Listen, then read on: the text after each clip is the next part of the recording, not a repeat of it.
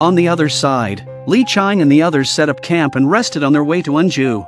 Bai went into the mountains to gather some herbs for future use. However, she constantly felt like someone was following her, but every time she turned around to check, there was no one there. She continued digging for herbs, but soon she felt a cold sensation behind her, as if something was standing right behind her, with one hand holding a hoe and the other slowly reaching for a torch. She finally turned around and let out a scream, which quickly attracted Lee Chang and the others. Everyone thought Bai had encountered a zombie, but when Bai ran towards them, they carefully observed and realized that the bloodied and disheveled person following her was Cho Bienpal. Lee Chang got angry at the sight of him and kicked him to the ground. He now wished he could just kill this wretched county magistrate with one swing of his sword. But unexpectedly, why was Cho Bienpal here? Cho Bienpal explained the whole situation to the crown prince and revealed that he was the only survivor on the ship. The ship was heading towards Anju, and Lee Chang had a bad feeling about it. If a ship full of zombies docked in Anju, the entire city would be in danger. Once Anju fell, zombies would quickly climb over the city walls, and the whole capital of Hanyang would be at risk. There was no time to hesitate. They had to depart immediately and make their way to Anju. At the same time, the ship had conveniently stopped at the border of Anju. Inside the city, life appeared prosperous, although there were rumors of an outbreak outside. Under the governance of An Haiyan, Anju remained peaceful and prosperous. People gathered in the streets to worship the deities. Meanwhile, An Haiyan was guarding a wake in the mountains, and his subordinates reported the situation of the beacon being lit at Dongray. He showed no signs of nervousness. However, when he heard that a strange epidemic was breaking out in Dongray, where the infected, even in death, didn't truly die but turned into monsters. on An Haiyan paused for a moment but maintained his composure. Clearly, he knew something about the situation. He immediately ceased his current task and made a bold decision. That means the Guardians are not allowed to come down the mountain. Shortly after, he received a report that a ship had been found in the river outside Anju.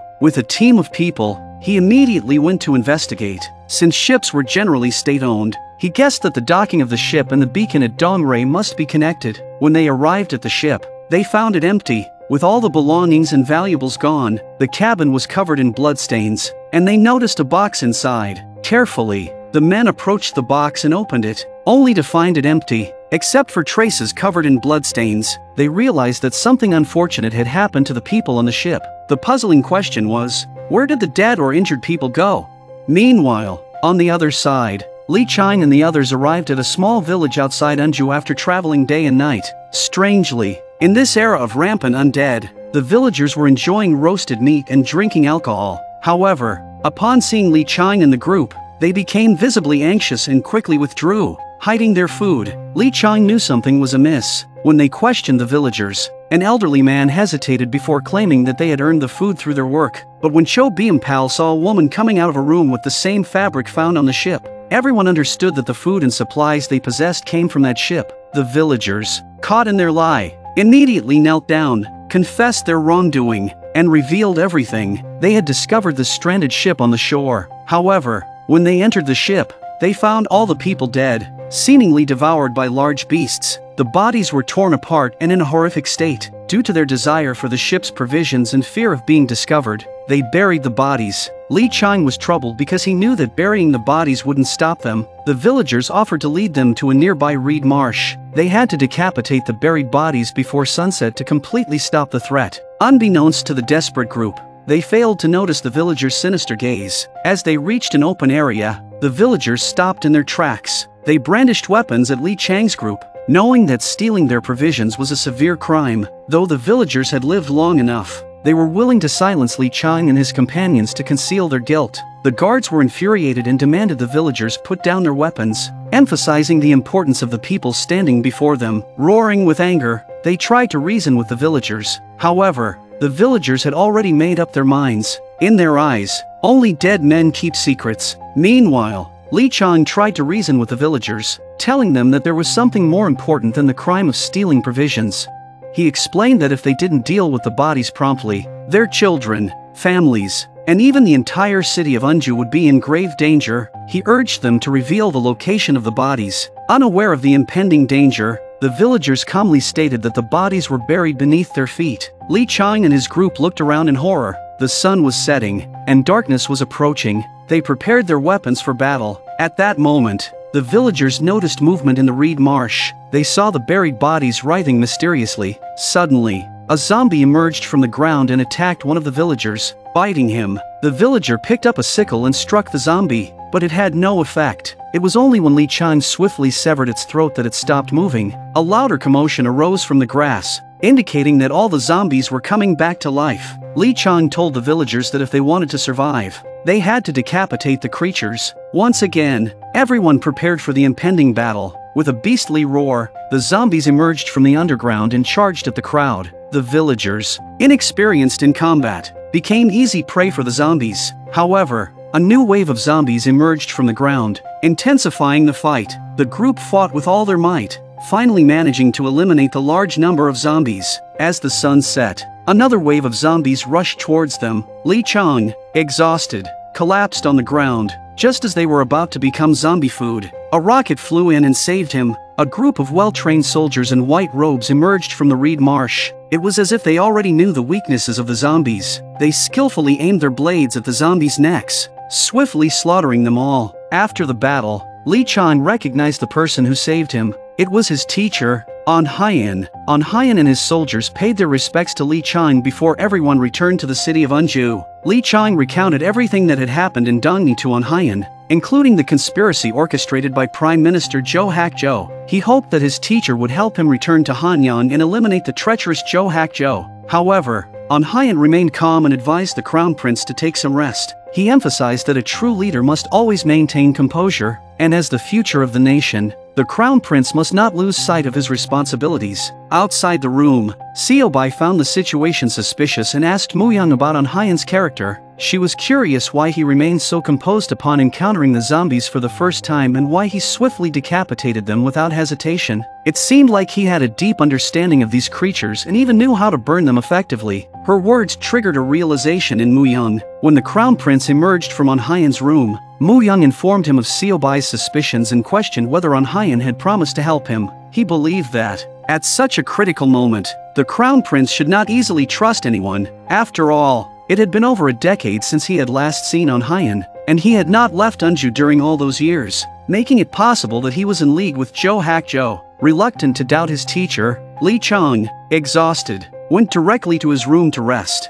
Meanwhile, in Hanyang, Zhou Hakzhou conducted experiments on prisoners and discovered that anyone bitten by a zombie would quickly turn into one. Now it is necessary to prevent everyone from heading north in order to contain the virus outside the city. The next day, he used the Queen's authority to issue a decree. Firstly, he dispatched the Central Army to take control of Anju's defenses and capture the traitorous Crown Prince. Secondly, he ordered the closure of all northbound passages, threatening anyone attempting to go north with severe consequences. By preventing people from heading north, Zhou Hakzhou condemned hundreds of thousands of people in the southernmost region of Anju to be trapped in a raging inferno. Yet, this was just the beginning of Zhou Hakzhou's conspiracy. Even if he couldn't capture the crown prince, he intended to trap him within Anju, preventing his return to Hanyang. News arrived that the governor of Anju, who had received the orders from Zhou Hakzhou, had come to An Haiyan's residence, seeking to apprehend the criminal crown prince in order to ensure the safety of all the people in Anju. This time,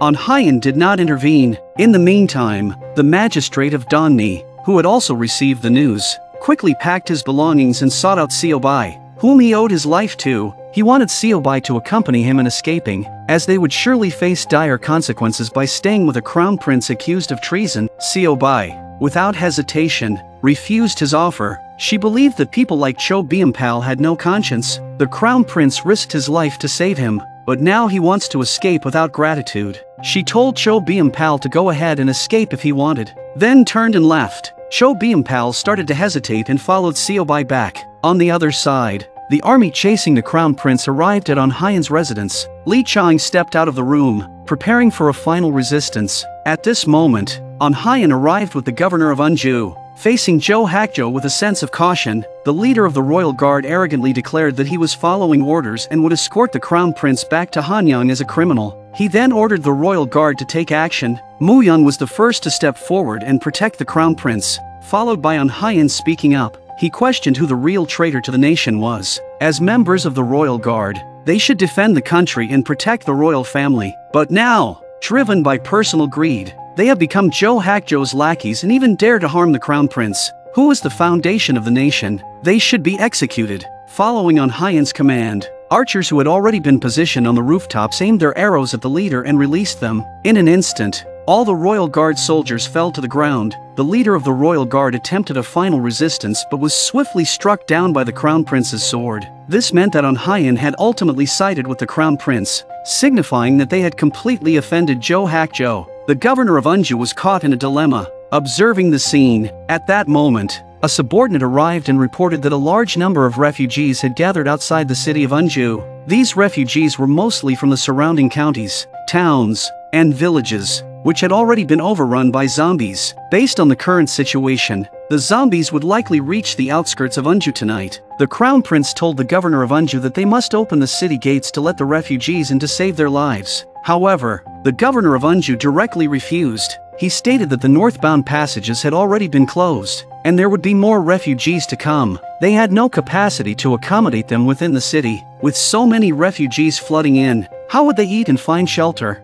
Once the food ran out, people would start looting, causing panic within the city, but the crown prince refused to let these refugees abandon their lives. No matter how he tried to persuade the governor of Anju, he was unwilling to accept them, left with no choice. The crown prince used his authority to dismiss the governor of Anju and took full control of Anju, opening the city gates to welcome all the refugees inside. Facing the approaching horde of zombies, the crown prince, who understood their characteristics, quickly ordered the entire city of Anju to be surrounded by water barriers. By guarding the two designated checkpoints, he believed that they could protect the entire city of Anju. Everyone joined forces and began preparing for the defense. They cut bamboo to make weapons and set up defenses on the paths that the zombies would inevitably pass through. Meanwhile, inside the palace in Hanyang, the queen's courtyard where pregnant women were kept finally saw someone going into labor. After a night of screaming, the woman gave birth with all her strength and the other pregnant women outside the door finally breathed a sigh of relief. But just as the sound of the baby's cries filled the air, it abruptly stopped, leaving everyone curious and gathering at the door. When a palace maid came out and announced that the baby had been successfully delivered,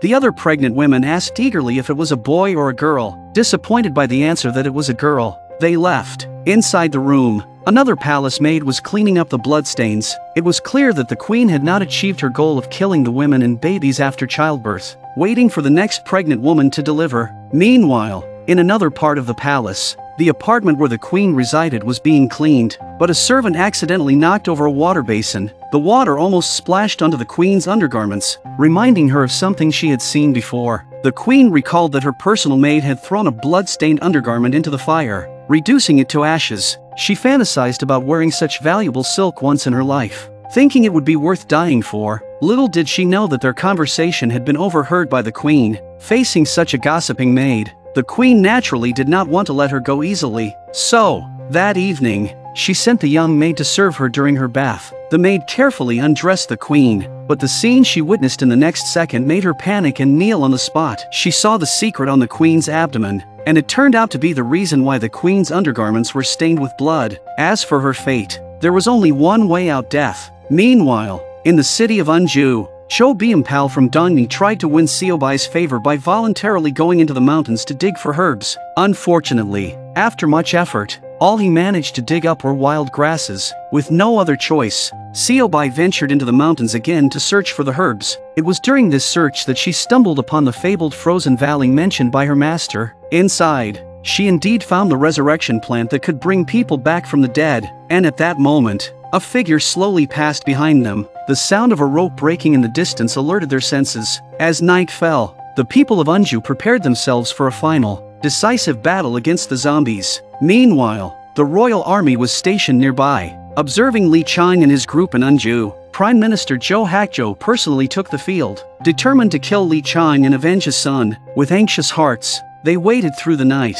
but what awaited them was not only the zombies but also the central army. However, as the dawn gradually broke, the zombies did not appear. Only then did the people begin to relax and prepare to return for rest and recovery. But then, a loud noise came from the nearby valley. A large flock of crows flew overhead, bringing a sense of foreboding. Even the water on the ground began to tremble. Everyone stared at the swaying forest in the distance, their faces filled with fear. On the other side, Xiaobai and Cho Bienpal found themselves surrounded by zombies at the mountain cave. Fortunately, the nearby water source temporarily hindered the zombies' movements. Seobai finally understood that these zombies were not afraid of sunlight but of temperature. A bloody and fierce battle was about to unfold in the city of Anju.